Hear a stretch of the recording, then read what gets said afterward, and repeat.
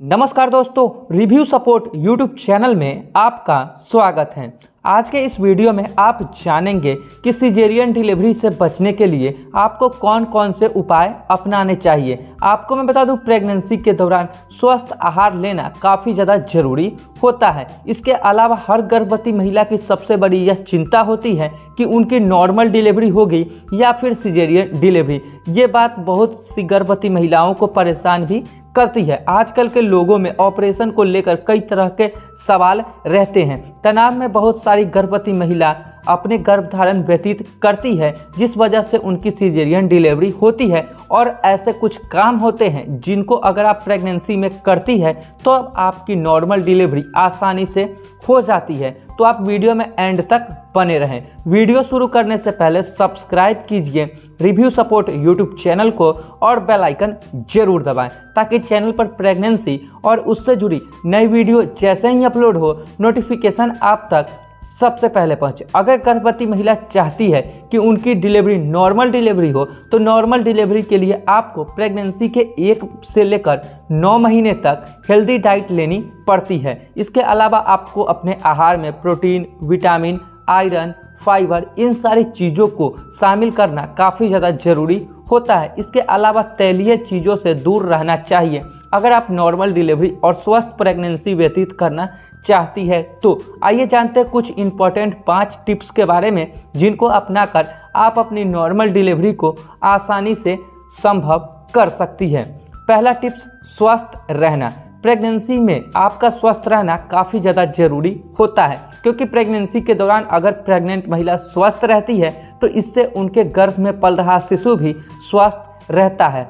स्वस्थ प्रेगनेंसी होने पर ही आपकी नॉर्मल डिलीवरी होती है। अगर आपकी प्रेगनेंसी अस्वस्थ है, तब आपकी नॉर्मल डिलीवरी नहीं होती है। स्वस्थ प्रेगनेंसी कहने का मतलब आपके शरीर में किसी भी प्रकार की कमज़ोरी न हो। इसके अलावा आपके शरीर में खून की कमी भी नहीं होनी चाहिए, तभी आपकी प्रेगनेंसी स्वस्थ है और आपकी नॉर्मल डिलीवरी होगी। दूसरी टिप्स टहलना। गर्भावस्था के दौरान हर गर्भवती महिला को यह सलाह दी जाती है कि उनको चलते फिरते रहना चाहिए। आपको मैं बता दूँ, प्रेग्नेंट होने के बाद आपका टहल फिर करना काफ़ी ज़्यादा इम्पोर्टेंट होता है। साथ ही आप इस बात का ध्यान रखें कि कोई भी भारी काम न करें। अगर आप भारी काम करती है तो इससे आपको नुकसान हो सकते हैं। टहलना फिरना काफ़ी ज़्यादा इम्पोर्टेंट होता है। प्रेगनेंसी के दौरान आप सुबह, शाम 30-30 मिनट पैदल ज़रूर चले। इतना टहलना आपके लिए एनफ रहेगा और आपकी प्रेगनेंसी इससे बिल्कुल स्वस्थ और सुरक्षित रहेगी। इसी टिप्स सही आहार और हेल्दी डाइट आपको मैं बता दूँ प्रेगनेंसी के दौरान आपको अपने खान पान पर पूरा ध्यान रखना चाहिए। ऐसे समय में केवल आपका भूख शांत करना आपका मकसद नहीं होना चाहिए। गर्भवती महिला को ऐसा खाना खाना चाहिए जिससे उनके शरीर में संपूर्ण आहार मिल सके। आपको बता दूँ प्रेगनेंसी के दौरान कैल्शियम और आयरन काफ़ी ज़्यादा इम्पोर्टेंट होते हैं और खासकर नॉर्मल डिलीवरी के लिए। कैल्शियम और आयरन काफ़ी इंपॉर्टेंट होते हैं, क्योंकि नॉर्मल डिलीवरी के समय आपका ब्लड लॉस होता है। लेकिन आपको मैं बता दूँ नॉर्मल डिलीवरी से भी ज़्यादा ब्लड लॉस सीजेरियन डिलीवरी में होता है। ऐसे में आपको आहार मेंटेन करना कितना ज़रूरी होगा, ये आप खुद समझ सकती है। इसलिए प्रेगनेंसी के दौरान स्वस्थ आहार का सेवन करें, ताकि आपकी पूरी प्रेगनेंसी स्वस्थ और सुरक्षित व्यतीत हो सके और आपकी नॉर्मल डिलीवरी हो सके। चौथी टिप्स पानी पीना।